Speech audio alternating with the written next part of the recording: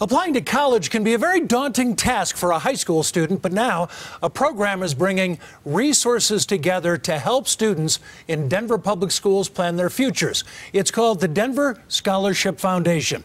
Our Dominic Garcia went back to his alma mater, Thomas Jefferson, to see how DSF is getting students to believe they can go to college, then helping them do it.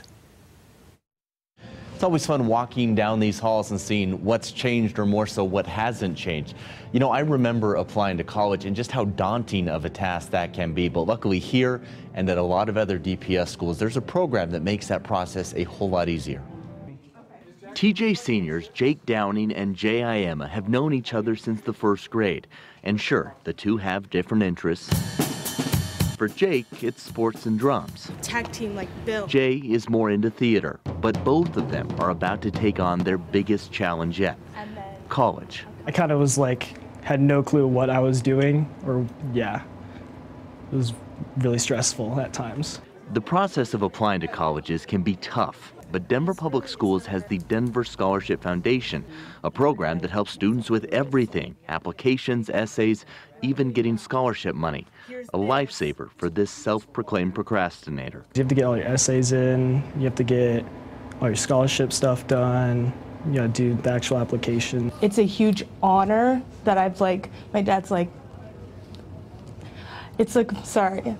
my parents are originally from Congo Kinshasa.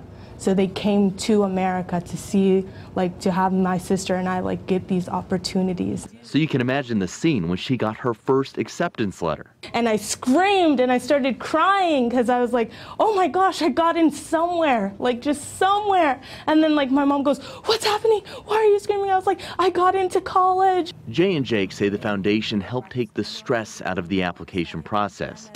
Now they can focus on the fun stuff. I'm nervous, but I'm excited. It's the next, next chapter of the book, and I'm, I'm glad.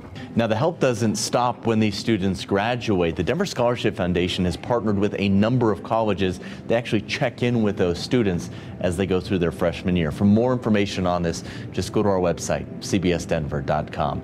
In Thomas Jefferson High School, Dominic Garcia, covering Colorado First.